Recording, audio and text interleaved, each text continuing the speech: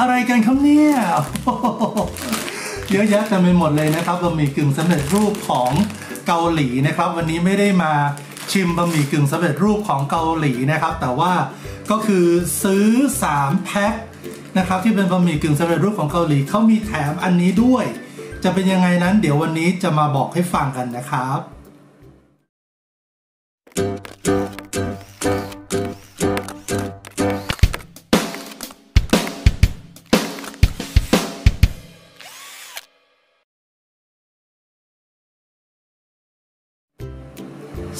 สวัสดีครับ ขอต้อนรับคุณผู้ชมเข้าสู่ช่องของอาจารย์เกษมกันอีกครั้งหนึ่งแล้วนะครับ อย่างที่ได้เกริ่นไปเมื่อสักครู่นะครับ ว่าวันนี้เรามาพร้อมทั้งบะหมี่กึ่งสำเร็จรูปของเกาหลี เยอะแยะมากมายเต็มไปหมดเลยนะครับ ก็จริงๆ อันนี้ก็คือบะหมี่กึ่งสำเร็จรูปของเกาหลีซัมยังบูดะเราคงจะคุ้นเคยกันดี เขาจะขึ้นชื่อมากๆเลย ในเรื่องของบะหมี่รสเผ็ดแต่เนื่องจากว่าผมเป็นคนไม่กินเผ็ดผมก็เลยเลือกแบบที่ เป็นสีชมพู มันก็จะเผ็ดน้อยหน่อยนะครับอะเดี๋ยวขอเคลียร์พื้นที่บริเวณนี้กันสักนิดหนึ่งก็แล้วกัน คือตอนนี้เนี่ยเขาจะมีโปรโมชั่นอยู่ว่าไอ้แพ็คที่เป็นแพ็ค5 5แพ็ค5ซองแบบนี้เนี่ย1แพ็คตอนนี้เขาก็ขายกันอยู่ที่ 199 ก็คือใน1แพ็คมี 5 ซอง ก็ตกประมาณห่อหนึ่งประมาณ 40 บาท ผมไปเช็คดูจากเซเว่นแล้ว ก็เซเว่นก็อยู่แถวๆประมาณ 40 บาท 50 บาทเนี่ยแหละ 40 45 50 อะไรแถวๆนี้ ก็ถือว่าถ้า 40 บาท ราคามันก็ถูก แต่ว่ามันจะดีไปกว่านั้นอีกก็คือเขามีแถมของแถมด้วยนะครับ ก็คือพูดง่ายๆ ซื้อ 3 แพ็คนะครับ ก็คือซื้อบะหมี่กึ่งสำเร็จรูปรสเผ็ดของเกาหลีอันนี้เนี่ยนะครับ3แพ็คเขามีแถมของแถมด้วยนะฮะซึ่งไอ้บะหมี่กึ่งสำเร็จรูปรสเผ็ด ซัมยังบูดักเนี่ยแหละนะ ในช่องของอาจารย์เกษตรก็เคยรีวิวไปหลายรอบแล้วเหมือนกันนะครับ กินกันแบบเผ็ดโอ้ยปากเปิกแดงไปหมดเลย ซึ่งผมเองก็ไม่กินเผ็ดนะ แล้วก็บัดดี้ของผมที่ถ่ายคลิปกับผมก็ก็ไม่กินเผ็ดเหมือนกัน ไม่มีใครกินเผ็ดนะครับ ทีนี้ถ้าจะให้ต้องมาซื้อกินกันแบบ 15ห่อเผ็ดเผ็ดแบบนี้ไม่ไหวผมก็เลย ซื้อที่เป็นสีชมพู มันจะมีแบบที่เป็นชีสก็มีเหมือนกันนะ ถ้าเป็นสีชมพูนี่ก็เป็นแบบที่เป็นคาโบนาร่านะครับ อันนี้เป็นคาโบ อันนี้เป็นครีมคาโบนาร่า อันนี้ก็เป็นคาโบเป็น เป็นรสของซัมยังบูดักเนี่ยแหละนะ แล้วก็ถ้าเป็นรสเผ็ดดั้งเดิมเนี่ยเขาก็จะมีแบบที่เป็นเผ็ดน้อยลงมาหน่อย แต่อันนี้ก็จะเป็นแบบที่เป็นไลท์ ผมก็เลือกแบบที่เป็นไลท์ ก็อาพูดง่ายๆก็คือ สามสามแพ็ค15ห่อแพ็คหนึ่งร้อยเก้าสิบเก้าบาท3แพ็ค15ห่อก็ตกประมาณ ตีซะว่า597บาทใช่ไหมครับ597บาทก็คือ200บาท1แพ็คทอนบาทหนึ่งอะ1แพ็คคือ200บาททอนบาทหนึ่ง1ซองก็ตก40บาท ผมว่ามันก็คุ้มนะ ทีนี้มันคุ้มไปกว่านั้นก็คือมันมีของแถมอันนี้ด้วยนะครับ เรามาดูของแถมกันสักหน่อยหนึ่งดีกว่า ผมจะเล่าให้ฟังแบบนี้ก็คือเมื่อสักประมาณช่วงก่อนสิ้นเดือนที่แล้วนะ ผมก็ไปห้างแล้วก็กำลังเดินเลือกซื้ออยู่นะ ก็ผมก็ไปเจอโปรโมชั่นเขาบอกว่าเนี่ย ซื้อ 3 แพ็คเหมือนกันเลย ก็จะแถมแอนแอนแอนนี่นะครับ นี่ก็คือหม้อเขาเรียกว่าหม้อหม้อเกาหลีคุณผู้ชมเห็นไหมอ่ามันเป็นหม้อเกาหลีที่เอาไปใช้กับ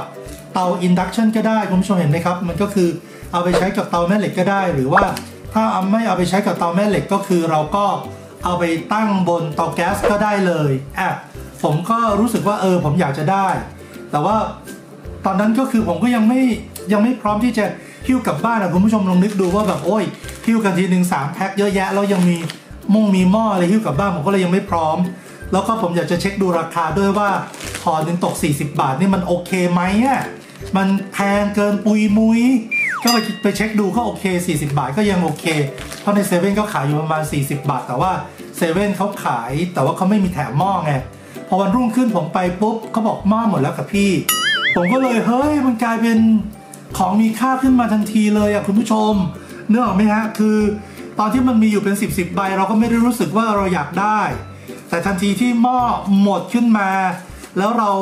ไม่ได้ มันกลายเป็นของมีค่าขึ้นมาทันทีคุณผู้ชมนึกออกไหมฮะมันมีอารมณ์ของความที่จะต้องแข่งขันอะไรต่างๆ ผมก็กลับไปถามอีก น้องที่ห้างเขาก็บอกไม่มีแล้วพี่ มันก็ไม่มีจริงๆด้วยเขาก็มีโปรโมชั่นใหม่ก็คือ เป็นแถมไอ้กระบอกน้ำกระบอกน้ำเย็นอะกระบอกน้ำเย็นครึ่งลิตรอะเออ แต่ความรู้สึกคือเอ้ยผมอยากได้หม้อขึ้นมา ผมก็ไม่รู้ว่าจะทำยังไงดี ล่าสุดเลยก็คือนี่ครับ ผมไปบิ๊กซีไปบิ๊กซีมานะครับ แล้วก็อุตส่าห์ไปถ่ายรูปมาด้วยนะ ที่บิ๊กซีก็คือตั้งแต่ 4 สิงหาคม ไปจนถึง 31 สิงหาคมนะเขาก็จะมีนี่นะครับ ซื้อซัมยังบูดักรุ่นแพ็ค5ก็คือแบบนี้นะ แพ็ค5ก็คือราคา 199 บาท ก็คือห่อหนึ่งตกประมาณ 40 บาทรสใดก็ได้ผมก็จัดมา 3รสอย่างที่บอกแล้วว่าผมไม่กินเผ็ดนะครับ ครบ 3 แพ็คก็รับฟรีไปเลยนะครับ เป็นหม้อเกาหลีซัมยังขนาด 18 เซนใช้ได้ทั้งเตาแก๊สแล้วก็เตา induction มูลค่าที่เขาบอกคือ 289 บาท แต่จริงคืออย่างที่บอกอะวันแรกที่ผมไปห้างแล้วยังไม่ซื้อเพราะผมมาเช็คราคา ผมไปดูราคาตอนที่เขาจัด flash sale ใบหนึ่งมันตกประมาณ 97 บาทก็มีนะ ประมาณ 90 กว่าบาทนะ แล้วก็ ถ้าเป็นตัว 90 กว่าบาทอันนั้นมัน 16 เซน แต่ว่าถ้าเป็นตัวตัวเนี้ยเขาบอก 18 เซน 18 เซนก็อยู่แถวๆประมาณร้อยกว่าบาทอะผมพอกลับไปพอไม่ได้ปุ๊บ โอ้ยความรู้สึก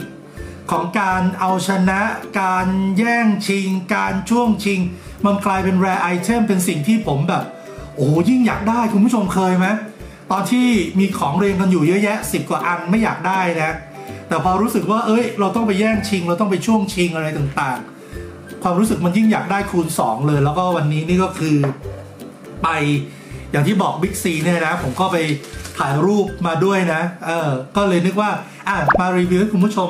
ได้รับชมกันสักหน่อยหนึ่งก็แล้วกันนะ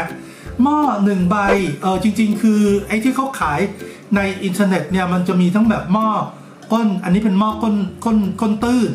แล้วมันก็จะมีหม้อก้นลึกอีก ถ้าหม้อก้นลึกมันก็จะลึกเป็นประมาณ 2 เท่า ราคามันก็มันคืออันนี้นี่เขาบอกร้อยเท่าไหร่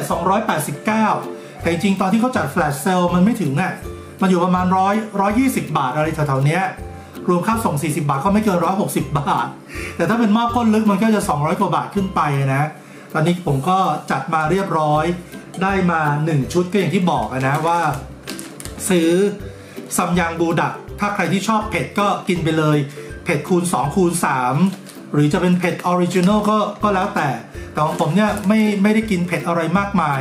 ผมก็เลือกเป็นแบบที่เป็นสีชมพู หรือจะเป็นแบบชีสมันก็ไม่เผ็ดเหมือนกันนะ ช่วงนี้มันก็แถมหม้อด้วย ผมว่าเดี๋ยวผมจะไปจัดมาอีกสักใบหนึ่งก็แล้วกันเพราะว่าดูทรงแล้วหม้อเมอร์อะไรต่างๆ เออมันก็ดีอยู่นะ แล้วก็ถ้ามันหมดอีกทีนี้คือความรู้สึกต้องไปแย่งชิงอะไรแบบเนี้ย แต่ความรู้สึกอันนี้ก็อย่างที่บอกอะว่า พอแย่งชิงมาได้ปุ๊บโอ้ความรู้สึกมันโล่งขึ้นมาทันทีเลยนะคุณผู้ชมไปลองดูก็แล้วกัน แล้วก็ไออันนี้มันหมดอายุโน่นเนี่ยศูนย์สองสองศูนย์สองสามก็คือกุมภาปีหน้าเลยนะ อันนี้หมดอายุประมาณ 042023 ก็คือหมดอายุปีหน้าเลยนะ ก็ 15ห่อนี่ผมว่ากินไปบางทีอาจจะไม่ถึงเดือนก็ได้ คนไทยมีสถิติกินบะหมี่กึ่งสำเร็จรูป ปีหนึ่งก็เป็น10ห่ออยู่เหมือนกันนะ เออ เพราะฉะนั้นไม่ต้องรอถึงเมษาปีหน้าผมว่าเขาหมดก่อนแล้วแหละนะ กินไปอาทิตย์ละห่อ4เดือนจนถึงสิ้นปีก็ 12ห่อ15ห่อนี่อุ้ยสบายไม่ขนามืออยู่แล้วนะ แล้วก็ไม่ได้รสที่แบบเผ็ดจัดจ้านอะไรมากมายผมก็กินได้ด้วยนะคุณผู้ชมก็ไปเลือกก็เอาก็แล้วกันก็ก็มีหลายรสอยู่นะอะอันนี้ก็จะเป็นหม้อที่เป็นพิเศษก็คือจะมีรอยสกรีนของซัมยังมาด้วยนะซัมยังบูดะ ตัวหม้อเขาก็หนาแล้วก็ถ้าเอาไปต้มบนเตาแม่เหล็ก ผมว่ามันก็ไม่ร้อน เพราะว่าไอ้ความร้อนมันก็จะส่งผ่านเฉพาะตัวอาหารที่ร้อนไอ้ตรงตรงที่เป็นด้ามจับมันก็จะไม่ร้อน แล้วก็ถ้าใส่กิมจงกิมจิ หรือไปหาตะเกียบที่เป็นแบบในที่เราดูในซีรีส์เกาหลีอะเออความรู้สึกมันก็จะเป็นเกาหลีมากๆเลยนะคุณผู้ชมลองดูก็แล้วกัน ผมว่าหม้อหนึ่งใบนี้ก็ใส่ได้หนึ่งห่อ ก็ถ้ากินอาทิตย์ละห่อก็เนี่ยสิสัปดาห์สี่เดือนก็หมดแล้ว ไม่ต้องถึงปีใหม่ก็หมดแล้วนะ แล้วก็เดี๋ยวผมจะกลับไปดูอีกทีหนึ่งเพราะว่าดูทรงของหม้อเมื่ออะไรมันก็ดีนะ เก็บไว้ก็ไม่ได้ว่าจำเป็นจะต้องเอามาใช้ต้มบะหมี่อย่างเดียวนะ เอาไปต้มสุกี้ ต้มก๋วยตงก๋วยเตี๋ยวทำน้ำแกง ใส่ผักใส่อะไร ใส่หมูสับใส่ผักอะไรลงไปหรือว่า ถ้าคุณผู้ชมจะใส่เนื้อสัตว์ใส่เนื้อวัว ใส่เนื้อไก่บางท่านไม่ทานเนื้อหมูอะไรแบบนี้ใช่ไหมใส่เนื้อวัวใส่เนื้อไก่ใส่อะไรลงไป ก็เป็นการเสริมคุณค่าของบะหมี่กึ่งสำเร็จรูปเข้าไปอีกทางหนึ่งด้วยก็แล้วกันนะอะในคลิปนี้เราเท่านี้ก่อนก็แล้วกันครับ คุณผู้ชมยังไงก็ไปตามกันก็แล้วกัน ผมก็ชี้เบาะแสไว้ให้เรียบร้อยแล้วตอนนี้ที่บิ๊กซีก็ยังมีอยู่นะแต่ว่าจะหมดแล้วหรือเปล่าไม่รู้คงจะต้องรีบกันสักนิดหนึ่งก็แล้วกัน เดี๋ยวหมดขึ้นมาแล้วจะ เรียกว่าเป็นรายไอเทมเป็นของมีค่า มีคุณค่าทางจิตใจอยากเอาชนะ อย่างผมขึ้นมาอีกระยะเลยนะอะในคลิปนี้เท่านี้ก่อนก็แล้วกัน แล้วก็ยังไงคุณผู้ชมที่ติดตามรับชมอยู่ ก็อย่าลืมกด subscribe กดไลค์ให้กับคลิปนี้ถ้ารู้สึกว่าคลิปนี้ดีมีประโยชน์แชร์ออกไปอย่างที่คุณผู้ชมต้องการเลยนะครับ 90%ของคุณผู้ชมที่รับชมช่องของอาจารย์เกษม ยังไม่ได้กด subscribe เลยยังไงขอกำลังใจ คนละหนึ่ง subscribe กันก่อนเลยก็แล้วกันนะครับ ในคลิปนี้เท่านี้ก่อนนะครับ ขอบคุณมากฮะจนกว่าจะได้พบใหม่นะครับ สวัสดีครับผม